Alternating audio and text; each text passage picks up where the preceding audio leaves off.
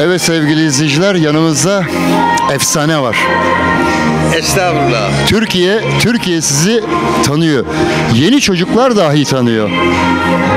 Bu konuyla ilgili önce sormadan önce bu akşam neredeyiz onu söyleyelim.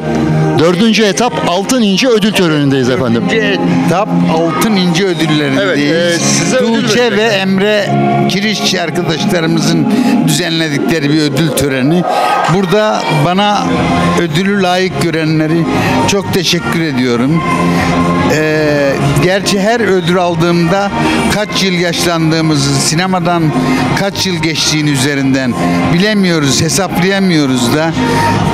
Ama e, evimizin salonuna gittiğimizde, ödül köşemizde bir ödül gördüğümüzde diyoruz ki yıllarımızı boşa harcamamışız diyoruz. Siz e, yaşayan efsanelerimizden birisiniz. Tarih yazdınız. ha. Hayır, Türkiye'ye ben- tarih yazdınız. Sevgili dostum ben beni yakından tanırsın bilirsin övünmeyi sevmem. Efsane olamadım daha ama büyüyünce olacağım kesinlikle. O da güzeldi. Şimdi tekrar gelelim. E, dördüncü etap altın ince. Evet. Ee, Biraz sonra eventimiz başlayacak. Ödüller dağıtılmaya başlanacak.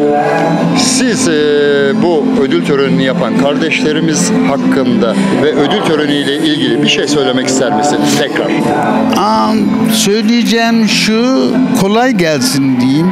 Öyle kolay değil ödül vermek, seçmek, ödüllendirmek, e, bunun ölçüsünü koymak, yarıştırmak aktörleri ve